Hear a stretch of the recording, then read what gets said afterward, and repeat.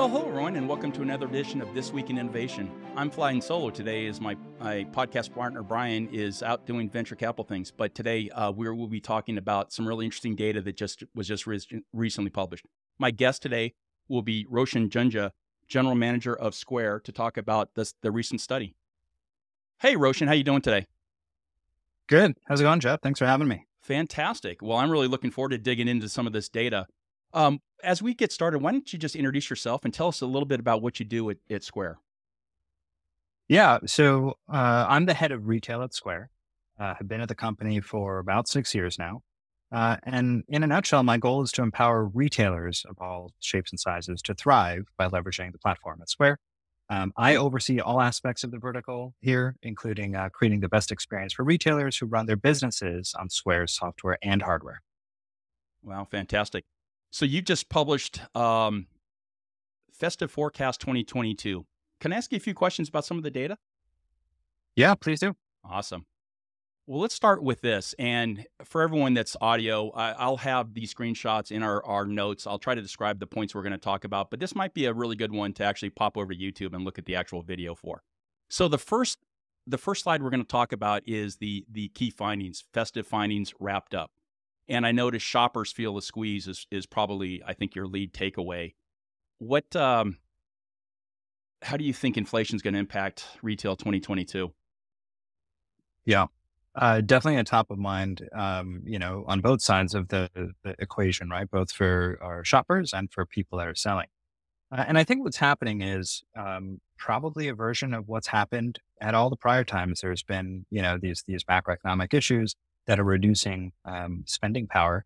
And what that is, is I think folks are um, thinking a little bit more carefully about their purchasing.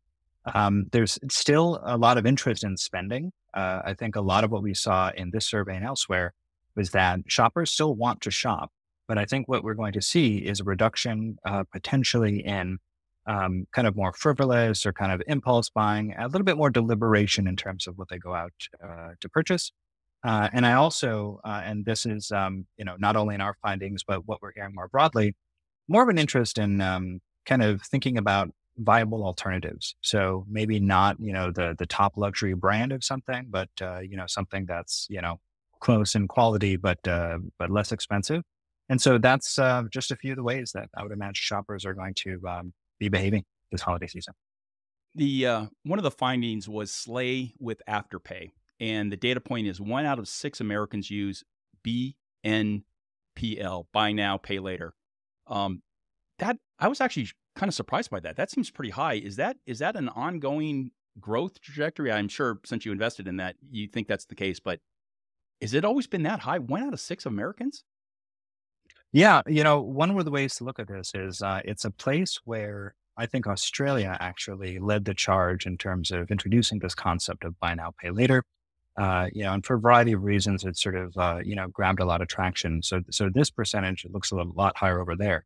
But as it's made its way over to the US, uh, we certainly see um, the highest adoption, I think, is in online selling. Uh, and, and what you're, uh, what you would find is that it gives consumers a way to have a little bit more predictability in terms of when they have to pay for something by spreading it out in these equal payments. Uh, but one of the the prime drivers behind um, uh, our acquisition, uh, or one of the many uh, benefits, I would say, is that we're now able to offer this in store as well. And so it just it's yet another way that Square is trying to take these emerging trends and make sure that they're omni-channel ready and that our sellers can take advantage of them wherever their buyers are. You know, I probably should have asked you uh, at the start, but your client base is, I mean, I think I've seen uh, garage sales using your technology all the way up to how how large of a retailer do you get to? Oh, um, you know, I would say some household names. Um, you know, recently we uh, we have uh, a partnership with SoFi Stadium. I think what's kind of interesting that a lot of folks don't know is that, as you point out, Square is really well known for that smaller seller, whether it's you know garage sales, pop up markets, and food trucks. But um, you know, it's been several years now that we've been uh, creating solutions that appeal to upmarket sellers uh, tackling more complex needs. In the case of retail, things like inventory management and reporting, helping folks manage their staff, giving them more ways to reach their customers. Um, and so there's really just a lot of value within our ecosystem for sellers of all sizes. So I would say, you know, it's those garage stores to, you know, some of the largest household brands you might imagine and oh, everything in between. So we can, uh, as a, I'd be a remiss as a tech analyst not to ask spec or ask you to speculate, and you you, you can you can decline, but um, there's a lot of players in that space uh, up market, and you're about to be another one. So when I go to NRF 2023, I should be thinking about you um, in far greater terminology or technology than just uh, just your where you've been the last few years. Yeah, I think that's definitely true. In fact, uh, when you go, uh, you'll see me. Uh, I'm planning to be there as well. And, oh, uh, fantastic! To, you know, chat with some folks. You know, um, I think what's really interesting about Square's approach in this space, uh, you know, and, and you mentioned, uh, you know, some of the other folks that are also, um, you know, selling uh, solutions to retailers of the of uh, those sizes of market. What's interesting is that we've got a, quite a broad array of things that we're offering ourselves. And so what's interesting is that um, depending on the size and shape of a retailer you are, there's probably, you know, different pieces of the ecosystem that make a lot of sense. Uh, for some of the smaller sellers out there, we've got free solutions that are, you know, make it really easy to get started.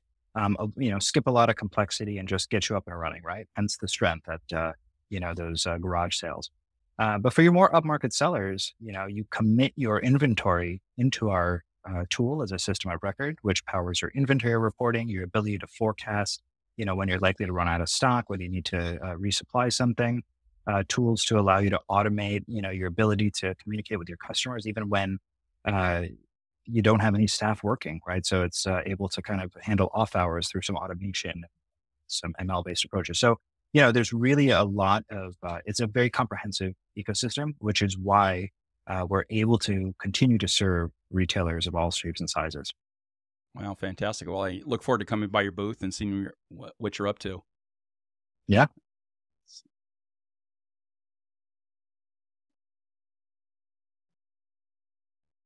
Um, this is uh, a data point. Um, kind of unpacking the the um, the inflation feel. So um, it's about slide three in in the notes. Uh, retailers' sentiment is also mixed about the holiday about the holidays. Uh, will compare to last year. So, in forty one percent say believe it, it will improve. 30 uh, 32% say expect business conditions to worsen, and 27% think it will remain the same. Um, I'm curious is it is this good news, bad news? It it feels like it's probably, you know, I guess as good as we could expect. But I mean, how would you interpret that data point for the for the listeners? Yeah, you know, there's there's something not said uh, here that I sort of carry with me as a lens to interpret these types of percentages, and that is, you know, in my time working with small businesses and, and retailers, obviously included, um, there's just a tremendous resiliency. There's a lot of um, willingness to kind of uh, roll with things, to adapt. Uh, and in a lot of ways, some of the challenges that some of these businesses are fearing, um, you know, that's that one third that expect that things might worsen, uh, reminds me of some of what we saw during pandemic when things started to hit. And that is, um, I personally have seen, and I continue to have a ton of optimism in retailers' ability to pivot and to adapt to changing circumstances. And so I think some of what you're seeing here is that, yeah, the sentiment is, you know, honestly realistic, right? Uh, there's a lot of things, whether you look at inflation, you look at supply chain, there's a lot of things that portend um, a lot of turbulence and it's going to be choppy uh, in the coming months. But, um, you know, the way I interpret results like this is retailers gearing up and being prepared uh, to make the changes they're going to have to. Yeah, I know I like that interpretation a lot. Um, a lot of us in the analyst world are trying to trying to wrestle with the impacts of COVID. And um, I, I, you probably, since you deal with so so many small retailers, you probably feel the impact of it uh, of it worse, I guess, maybe than than most vendors. Um, but boy, the, the, amount of innovation that's been driven out of this mess that we've been in the last three years is, has been phenomenal. For the, those that are survival, have survived. It's just been it's been a, a just an amazing um, acceleration innovation. I guess that's that's the point you're making here. Yeah, 100%. And, you know, the headlines uh, about pandemic uh, are often about things like supply chain, you know, uh, difficulty in getting products, you know, and seeing things that are out of stock frequently at uh, retail stores. Um, what I think goes underreported is just the amount of pivoting that went on and, uh, you know, people moving into experiential concepts where, you know, supplementing the retail with, you know, adding the coffee shop. In fact, you know, one of our uh, interesting findings on labor is that, you know, baristas and, uh, you know, more of these um, experiential components as a proportion of the hires that retailers are making, it's those types of roles that are outpacing by far. Uh, so, so what that tells, you know, what that should indicate is that a lot of retailers are open to making all sorts of changes, right? And they're being quite agile in how they think about the value they're providing to their sellers in terms of an overall experience. Um, but there's also a tremendous, you know, um, response to the changing uh, nature of what's gone on. Whether it's a, you know, obviously adopting online uh, channels and more flexible fulfillment was was pretty key. Uh, but it's also about um, thinking about the product assortment. You know, what is it that folks are more likely to need? some of the most ins- inspiring stories to me have been, for example, um, the folks that started stocking up on PPE and selling masks and selling, you know, a number of, uh, you know, pandemic related things. And so, um, but yeah, I, you know, just all underscoring this point about um, adaptability and resiliency. So, I don't know if it's good. I mean, it's it's great news that we've the industry has responded, um, and and looks like we have yet more challenges in front of us. Um, the next data point I'd like to talk about is uh, Shop with Soul, and it's a it's a, a screen grab off uh, off the off the off the deck. And what I found really interesting is one in five shoppers prefer to buy products that are sustainable or ethical. This is particularly true uh, among Afterpay customers. So, I mean that's a that's a that's a pretty big data point. I actually haven't seen that really laid out quite as cleanly as that. Is this is is this on the rise? Is this been stable for the last couple of years? Have you tested this uh, or asked this question in previous studies?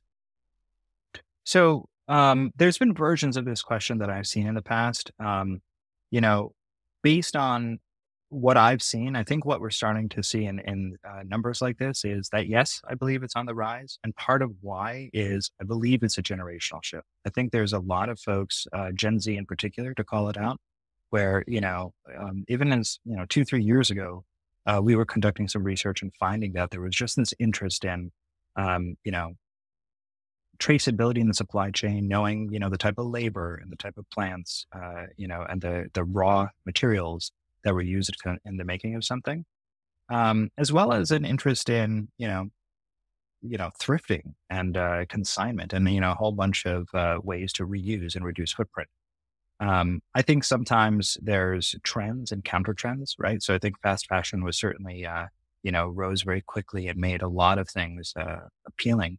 But I also think the counter trend there is, you know, a little bit of um, rejection of things that are designed uh, to be almost disposable or, you know, very limited use and wanting, uh, you know, something with more longevity. And so, really, I think uh, as um, newer generations um, become more of a uh, a footprint by dollar in the buying demographic, right? As they kind of uh, grow into uh, a greater share of the overall consumer base, we're also going to see some of their attitudes um, increasing. Well, that was definitely my thought when I looked at that. I just that this one just screamed for the for the uh, demographic breakout. Um, any chance you can comment on what what the percent of Gen Z was? It ha- it has to be three or four x more than my generation, um, Gen X. Oh well, I mean, I think for purposes of the data that, that we're pulling here, uh, Gen Z, let's see, I think it was about 14% of the consumers, right? And so it's not like we overwhelmingly sampled right. more Gen Z to include in this data point. And so really what you're seeing is, you know, if you combine uh, Gen Z and millennials, so that's the 18 all the way up to 40 range, um, that's probably about half of the wow. respondents in our okay. survey here. So um, obviously it's it's more than just that one generation. Right. Interesting. Very interesting. Well, that's a good data point. Um, I haven't seen that broken out quite that clean before, so I, I, I will adopt that one for sure in, in, anything going forward. Sure. The other data point I thought that was really interesting was the uh, the comment on social shopping. Uh, social media is another important influence, uh, and I'm reading from the uh, from the infographic blurb. Social media is another important influence, with around one in four shoppers spotting uh, gift ideas on Facebook 27% and Instagram 24%. I thought that was kind of interesting that more on Facebook than on Instagram, even though Mark's really fine with with using either either one. But um, I don't. It, kind of interesting. Were you surprised that that more actually a, couple percentage point more on Facebook than Insta? Yes and no. So there's a uh, there's a couple things that might be at play here. One of which being there's a lot of sellers that don't have the time, the bandwidth, um, you know, maybe the interest in setting up a dedicated e-commerce site and a channel. And so I think that the default that they end up with is a Facebook site. And so if you think about what a, a retailer thinks of as their online store, um, a lot of them, uh, you know, when Facebook was kind of ascendant, in the social, uh, you know, tool spectrum, uh, I think a lot of them ended up, um, you know, spinning something up because it was really quite easy. And, you know, it continues to this day to be a really easy place to, to get started and just get the word out and then have something to link to, um, you know, when you're uh, uh, trying to connect stuff with your, your shoppers and, and something for them to go back and land on and reference that you can keep current. And so I'm actually not surprised to see uh, a substantial portion there. I think um, Instagram, you start with Instagram getting more into the realm of needs more investment because here to be successful, you need to think about the quality of your photography and uh, meeting your uh, your buyers where they are in terms of what they expect to find in their feed, uh, and making sure that your brand as a seller is represented appropriately on socials for consistency. And so it actually, you know, the the level of difficulty, or rather the level of investment required, I think starts to go up as you consider some of the newer uh, social media channels like Instagram uh, maybe TikTok and, and some of the others. And then that explains the next, which was next question you already answered. Square and Afterpay found that the majority of businesses plan to enlist a number, the number of online channels. Fifty nine percent of retailers intend to sell on social media. Forty five percent sell through online store, and that's probably because you've got you've got the the the, the small and, and small and, and medium sized retailers, and they're they are clearly using social as their as their is at least one of their major channels. Yeah, you know, one of the things that uh, again um, is a little bit behind the numbers here is when you think about the. Oh, that's the what I want. I want behind the numbers. I love behind the Perfect. numbers. Perfect. Glad uh, glad to be here and, and to be able to speak to it.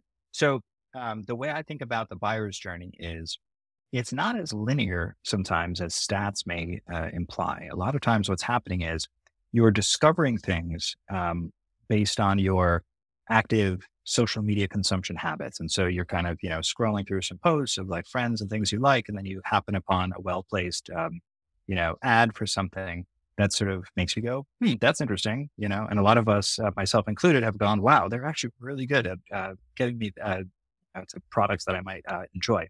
So there's that discovery aspect.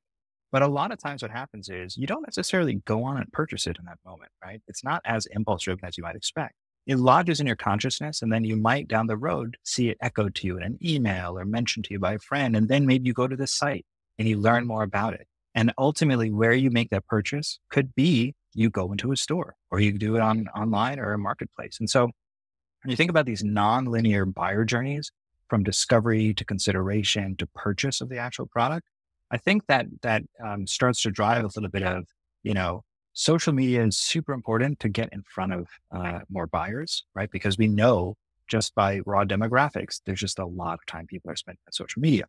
Um, but then ultimately, if you get them back to your online store, this is actually a powerful approach that um, I like to advocate to, to retailers in particular, because you get a chance to tell them more about who you are, not just like a tiny few seconds or like an interstitial, but the full story of what your products are about, what you value, the rest of your assortment, uh, and and by the way, that's not so different than a, a, compelling marketplace strategy where you lead one or two of your products, but you don't put your entire product portfolio up there.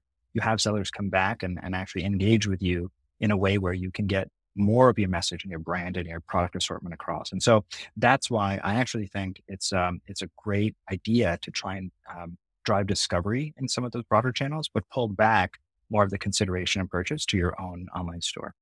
Very interesting. Uh, finally, 16% will leverage selling through text messages via conversational commerce software. Now, I've had a couple interviews with um, conversational commerce folks.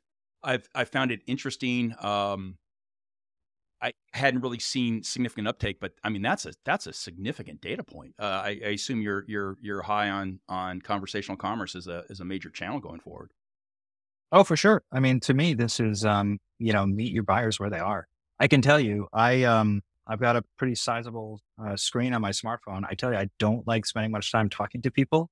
Uh, I do like, uh, you know, I will text and message and, and do a number of those things as like my primary means of uh, engaging because, you know, sometimes it's hard to just take the time out to, you know, uh, invest in, in the phone call. So look, commerce should happen wherever there's communication happening and, and meeting your buyers where they are means being able to transact via text messages and, and those types of conversational mediums. Now, it's actually pretty powerful because most of these tools give you not just text back and forth, but images, right? Like, hey, you know, let me show you a few different angles of that, you know, uh, piece of furniture that you're considering, or, you know, let me um, link you to, to something that kind of has the full return policy detailed out. So it's actually a really rich way to go back and forth. But again, meeting the meeting your shoppers where they are uh, and kind of on their own terms and schedule, right?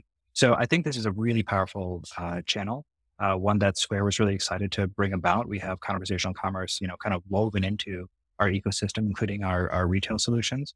And uh, it's one I actually expect to um, uh, to rise with time as more folks understand that it's here and, and how to leverage it as a, as a retail seller. Well, sixteen percent is, I mean, that's legit. I mean, that's, I mean, that's that's that's a, it's a great foothold channel right now. Um, that's right. Curious, do you have any any forecast on on what amount of spend will happen in conversational commerce? I've I've kind of looked for that. I haven't really seen any anything that I put any value to. But sixteen percent, I mean, that's that's a that's a significant number. Have, have you guys? Yeah, that? that's that's. I I don't know that uh, we have it broken out by channel for some of the same reasons I mentioned, which is you know it may actually be the transaction happening right. there, or it may be eighty percent of the discovery and the asking questions that's interactive, right? But um, what I will say is that, you know, we're trying to make more options available. Uh, so one of the things that, uh, that uh, I find really exciting is a, a, Square checkout link. So in the same way that I uh, mentioned, we want our sellers to make sure that they're using a rich media like their own online store to uh, ultimately convert their buyers.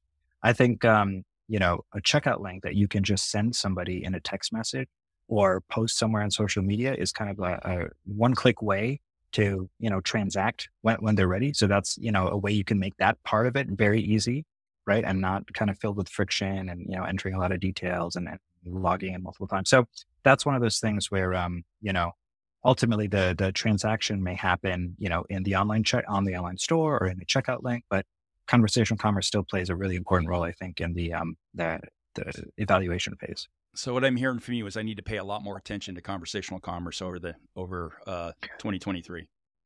Yeah, I think that's right. I certainly will be. Good enough. One uh, data point that I, I found a little bit interesting. I don't know, maybe a little concerning. You, you help me unpack that. Uh, 47% of consumers prefer to purchase in store. So let me tell you how I saw that, and you you you you correct me or, or set me straight that concerns me actually. 47 only i mean so here's here's the interpretation.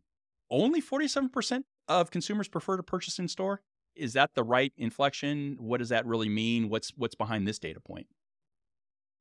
Yeah um you know the interesting thing here is i would expect this um to start skewing to more online um in times of scarcity. And the reason for that is i would expect that more people come in with a plan they know what it is that they want. And when you know what you want, yeah. it's pretty low friction to go find it online, do your price comparison, you know, and provided the fulfillment terms are okay, usually one or two days, you know, for example, for delivery, you know.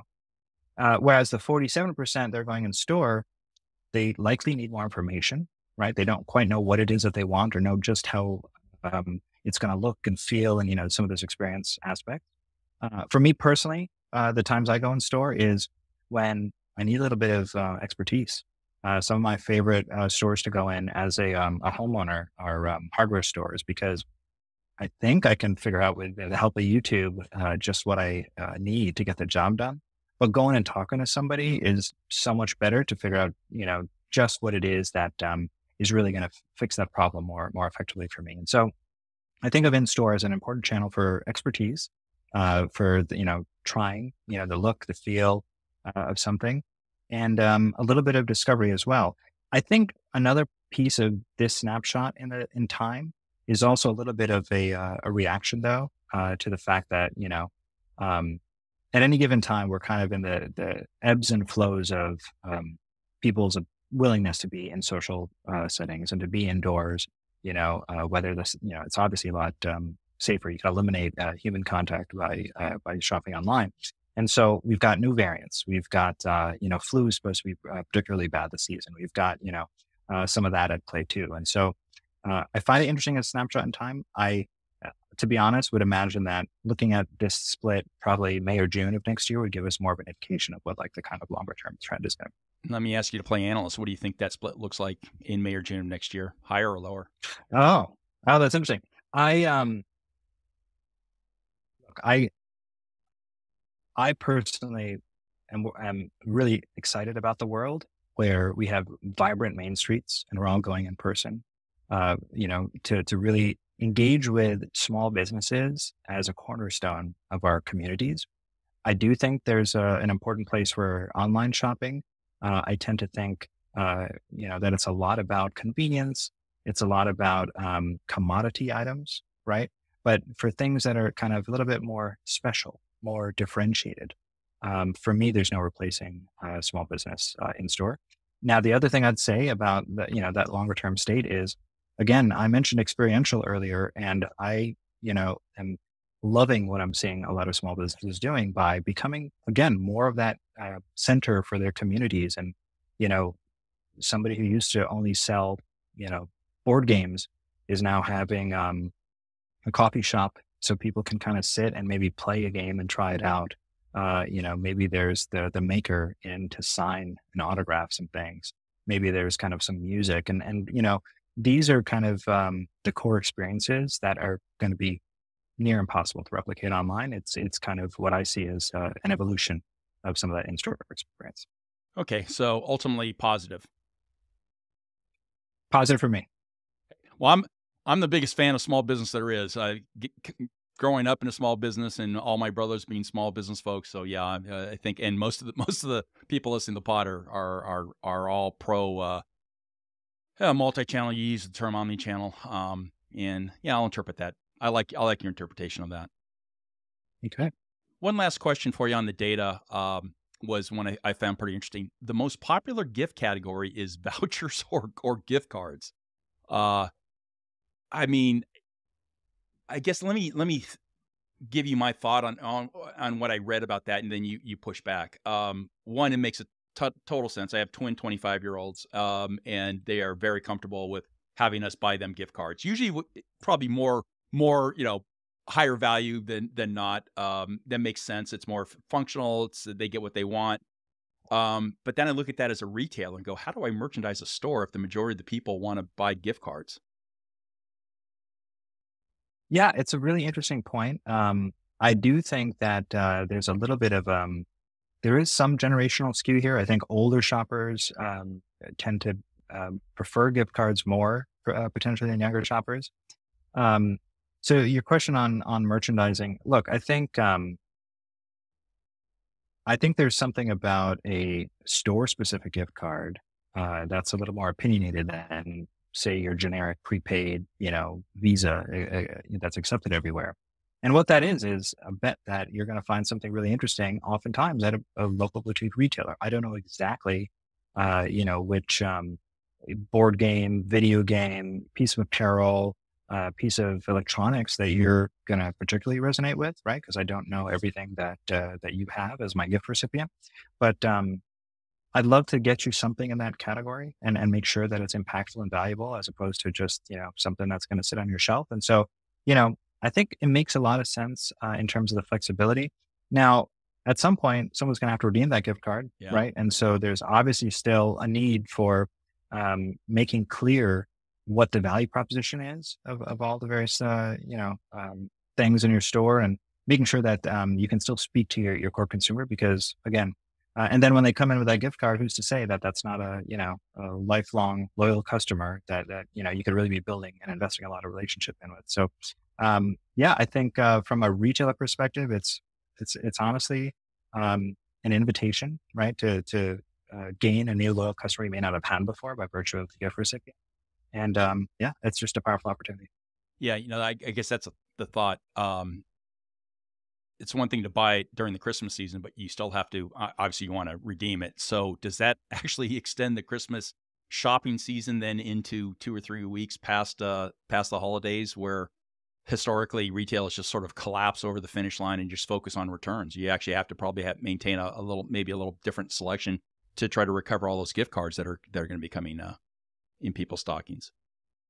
Yeah, that's a good point. Um, I, I, would expect that. Yes, that's true. Um, probably makes a, a good. Um, uh, it's it's probably good practice if you're selling um, a decent proportion of gift cards in, in your overall volume to think about the redemption cycle and what it is that folks are going to need from you.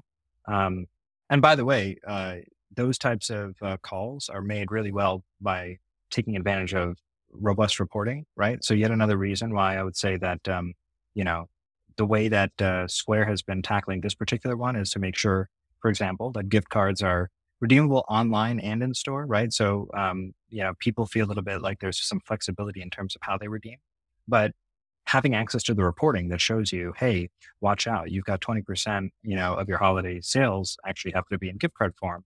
Uh, folks are going to want to use things and then not going to be really excited if, you know, you're sold out of uh, half of your inventory. Uh, you know, or maybe they will, depending on the uh, the length of uh, time that they've got to use the thing. So um, that's a great call out, and and it's something that uh, I would imagine retailers should certainly be paying attention to in terms of their reporting.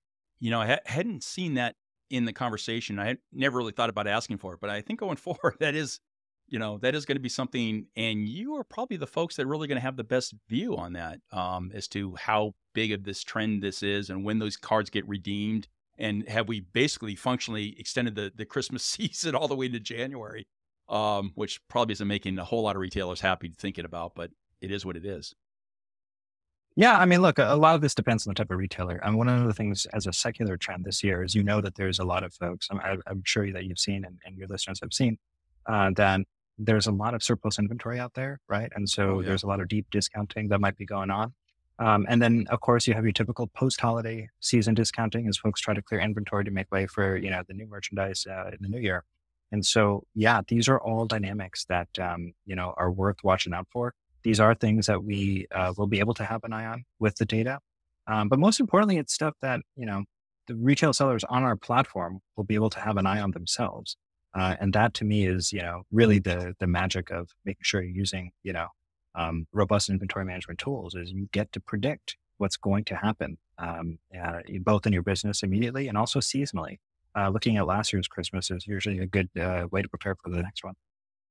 Um, asking as an analyst, being very jealous about finding new sources of data is some of those are some of those insights available to uh, the general public or the trade press or the analyst community um, what what happens with these gift cards because that that's got to be a major major trend going forward yeah i uh, I, I, can take a note down on that one uh, and i will uh, because we've been uh, chatting about it here we do periodically um, you know as we find some interesting trends in terms of you know new products that are kind of you know rapidly vaulting to the top of uh, you know, the list uh, or just kind of seasonal trends. We do periodically, um, you know, share that uh, broadly, and um, this this will be one that I'll add to the list for for us to look into. Oh, that sounds just just uh, fantastic. Well, um, man, that was just great data. Thanks for the, all those insights. What, uh, how do you now that you're we're you know fully well into November? What do you think the next month and a half looks like? I mean, the data is, you know, some of it's a, month old. Um, any anything you want to true up? Any any uh, better, you know, more fresher projections to make? Yeah. Um. So, I mean, I can I can offer opinions. I know that, for example, um, you know, generation generationally, we know that a lot of folks are going to be looking for deals, especially the younger consumers, and so there's a lot of appetite for these, you know, Black Friday, Cyber Monday. And by the way, obviously not those days. That window itself is sort of extending, and you know, holiday shopping is skewing earlier than it has been in the past. Um, so I know that, uh, you know, there's definitely going to be um, some shifts in the timeline. Um, we know that there's still some big variables out there, uh, not only in terms of inflation, but in terms of, you know, what's happening with, um, you know, the latest variants and, you know, how safe people are feeling about in person. But really, uh, the way that I look at this question about, you know, what's coming is really more from a retail seller perspective and, and just thinking through, you know, what they can do to prepare. And so, um, you know, some of the things that, you know, I think we've touched on already is, you know, inflation is for sure here. Um, but just reinforcing and revisiting this point that shoppers are still interested to spend. They, they, there's still a lot of appetite for gift giving. It just might be a little bit more opinionated. And so here I would say that really it's a matter of making sure that you can reach your target customers and, and it might be a great time to lean into marketing because even though there's these oversupplies of inventory, there's somebody out there that probably wants the things that you're selling. And so you just got to find a way to connect with that buyer, right? Is it in an unconventional way? You know, are you not seeing sales velocity happen the way it used to in the store? And do you need to then take that item and merchandise it on social or merchandise it uh, online? Um, the next thing I'd say really has to do with value. Um, there's a, it's not only about price. I think that's a, a, classic thing is, you know, folks just kind of racing to, to be the most competitive in terms of price, but value extends to exchange windows, return policies, uh, maybe some help getting something set up, you know, or maybe kind of, um, you know, just that personal curation of a, of a store owner that says, Hey, you know, here's, here's some things that go together. You know, there's a lot of different ways that value show up. And I would imagine that, or I would uh, encourage retailers to really be thinking about, um, underscoring the value that they're providing beyond just the price of the item, because uh, that's that's definitely a big factor uh, that consumers are looking for. Um, and yeah, just really you know lean into the early shopping to the extent that you can get the word out. Um, you can leverage you know the the available channels that you're trying to sell on and, and make folks aware of uh, you know what you have going into the holiday season. Um, I think is just going to pay dividends. And so um, you know those are just a few uh, of the ways that I think retailers can prepare uh, no matter what's what's coming up ahead. Fantastic. Any um, any uh, thoughts on what you're going to be presenting at or talking about at NRF? Oh, um, well, I think there's a uh, a panel format, and so uh, I have yet to see uh, any teasers for for what the, the core topics will be. But but look, it's uh, it'd be hard to imagine that in January we're not in still uh, still in some period of uncertainty here, with a lot of folks a little bit nervous about you know what's going on uh, in the macro environment, whether it's you know conflict or supply chain or, or inflation. And so I would imagine that those themes will be present, and um, you know we might have some fresh data to look at because it will be the other side of the holiday shopping season. Well, I uh, I hope I hope you present that because that's going to be really interesting. I, I think that might be one of the more interesting trends that that I I hadn't even thought of. It's just the redemption of all those gift cards. We talked about it um, you know, we, we saw it a, a while ago, um, but boy, I mean, the numbers you have are just are are are really dramatic. Well, thanks so much for uh, for sharing the data with us. Thanks for uh, you know helping out the SMB retail. Uh, most of us are big fans of that, and look forward to bumping into you at uh, NRF. Yeah, likewise. Thanks for having me, Jeff. This was fun. Great. Thanks. Bye.